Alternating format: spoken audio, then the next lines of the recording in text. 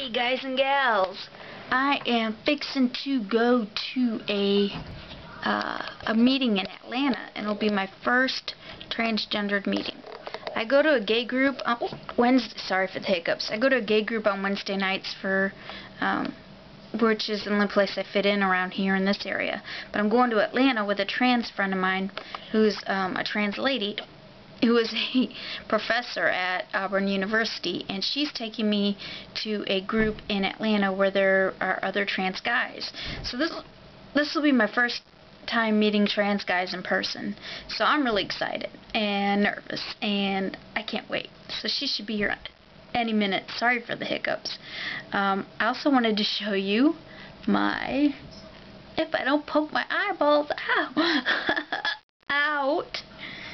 my glasses. Okay, tease, tease all you want. Tease all you want. I don't care. I only need them to drive and to watch TV. Um, I can see up close real, real good. Um, I am... Ah, I'm nervous, guys. I'm, I'm nervous. But, um, I promised I'd eventually show you my glasses, and here they are. And, um, I guess they're unisex, even though they were in the guys section. Ugh, I hate that.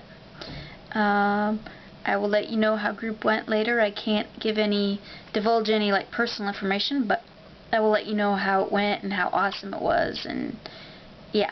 So I'm going to Atlanta. That's a two-hour drive. So I won't be home until with group and, you know, and going out to dinner and all that. I won't be home till about 9 p.m. tonight. So I'm uh I'm getting ready to go. I'm excited. So I'll let y'all know. I'll let y'all know how it went. Hiccups and all. Hopefully I won't be hiccuping then. So, um, I'll see y'all later. Later. Peace.